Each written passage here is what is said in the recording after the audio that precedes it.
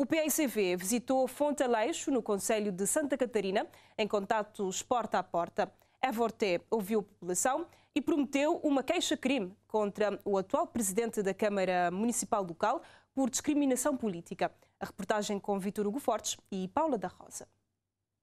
A caravana amarela visitou esta terça-feira Fonte Aleixo, no município de Santa Catarina, em contactos porta a porta. Eva Orte, acompanhada de Clara Andrade, ouviu os problemas que afligem a população do povoado. Clara Andrade gostou do que viu e acredita na mudança que, como diz, é necessário para evitar a desigualdade social. Só está olhando no terreno que não está sendo bem aceitado e, e povos querem mudança. Não crê, não crê para mudar, para mudar. Já não olha que Cabo Verde, que está aí direito. Então, coisa que não está fazendo, nós mulheres, para não lutar, para não pôr janeiro lá para evitar, para diminuir a desigualdade social que está, a discriminação, sobretudo na Santa Catarina, onde que corre com tio alguém de trabalho, mais com, com filho deficiente, mãe, mãe com mãe solteira, corre de trabalho, tinha que recorrer a Facebook para pedir apoio para levar o menino para ir para consulta é teu discriminação, por isso não está ali a luta. Evorté assina por baixo e vai mais longe. Depois das eleições, promete fazer uma queixa-crime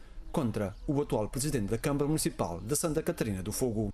Teu discriminação por parte da Câmara Municipal para com os munícipes, os munícipes que está eh, lê eh, na mesma eh, eh, diapasão com ele.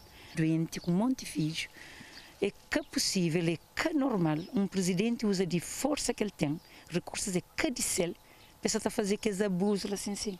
E a primeira coisa que está a fazer, é depois das eleições, é chamar um provedor de justiça e fazer um queixa-crime contra o presidente de Câmara. Que pode fazer, recursos é que É que pode se intimidar a pessoas, é que pode se intimidar a população. Acho que, essa, acho que nesse momento o líder resolveu fazer só um mandato. Para Fontaleixo fica a promessa de construir um centro de saúde e completar o anel rodoviário, que, segundo a cabeça de lista do PICV, não foi acrescentado um metro sequer.